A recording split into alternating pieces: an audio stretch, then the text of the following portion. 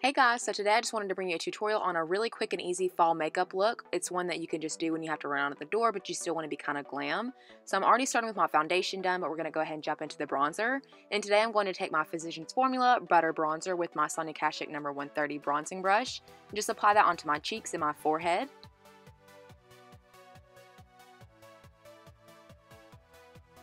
And then using that same brush, I'm also going to run that down the sides of my nose to contour my nose a little bit.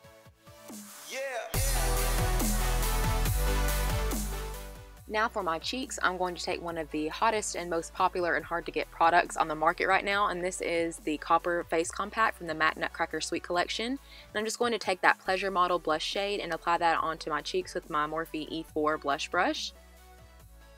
And as always, you guys know I like to put a little bit of blush on the tip of my nose. And then we're going to jump onto our brow. So I'm going to go for a more quick and easy brow look. So I'm going to take my NYX brow pencil in the shade Espresso and start filling in my brows all of my other brow tutorials on my channel are very dated and awful. So I'm going to be filming an updated brow tutorial soon, but I did want to leave in a larger portion of me doing my brows, just so you guys could, could kind of see my process here.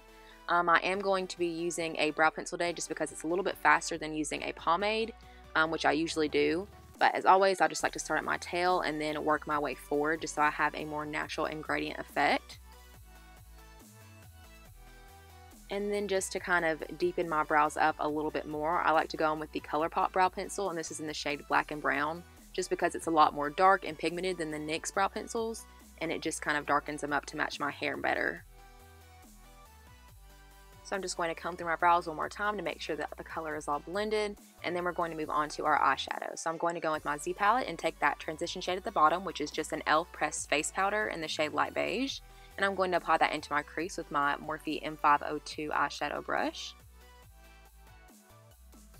Then going back into the palette, I'm going to take the shade Fawn from Anastasia Beverly Hills, which as you guys can tell is a favorite, and I'm using that same Morphe M502, just kind of patting the color on first and then blending it out.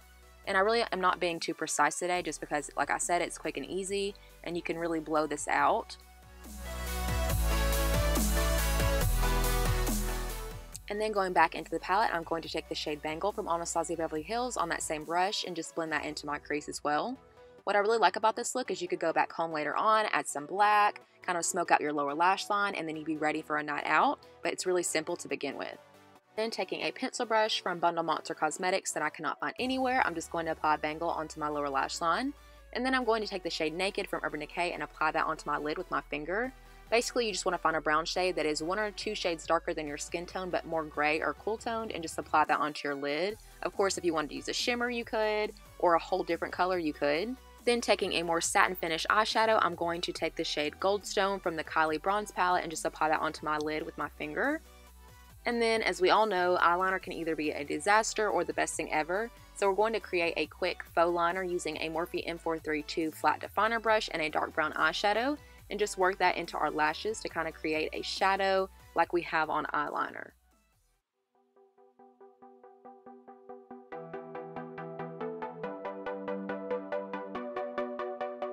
Now we're going to move on to our lashes. So I'm going to take the Salon Perfect 614 lashes, but before I apply those, I'm going to curl my lashes. This is a limited edition um, lash curler from Tarte that I got in 2015. And then I'm going to apply a coat of mascara. I'm using the L'Oreal Telescopic Mascara as always.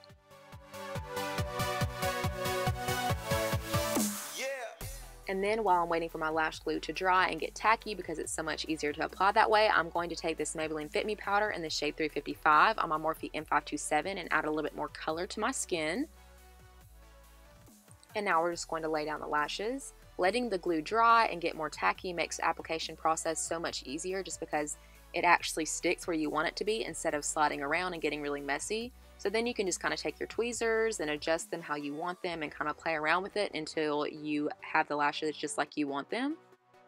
And I absolutely love lashes. I don't do my makeup without them now just because they make such a big difference. So these Salon Perfect 614s are my absolute favorite.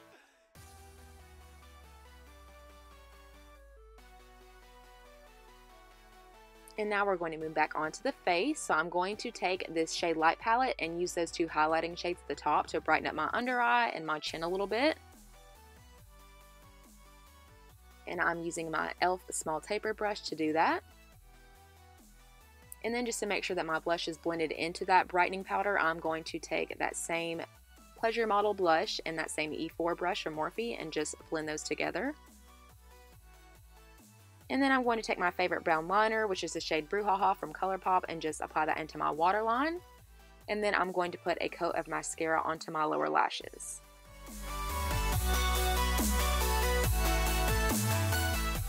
And now to highlight, I'm going to take the Whisper of Gilt shade out of the Copper Face Compact and apply that with my Morphe M501 onto the high points of my cheeks, the tip of my nose, and the bridge of my nose. And as you guys can see, I already dug my finger in this to like try to get more color payoff because nothing was really coming off onto my brush. And I'm really not that impressed with this highlight. I mean, it's a nice pretty gold, but I feel like there are other golds out there that are even prettier. So if you're upset that you didn't get this or that it's sold out, I wouldn't be because I think you could find something better. So now I'm going to wipe off my excess chapstick as always, and then I'm going to apply my lips. And I'm going to take the shade Barracuda from ColourPop, which is an ultra satin, and just apply that all over.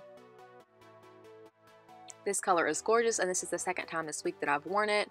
But of course, if you wanted to pair it with a nude or something even darker and more vampy, you could. I just wanted to do something quick and easy to kind of go along with our quick fall makeup look. So for the final steps, I'm going to take my Anastasia Clear Brow Gel and set my brows so I won't have any crazy hairs throughout the day.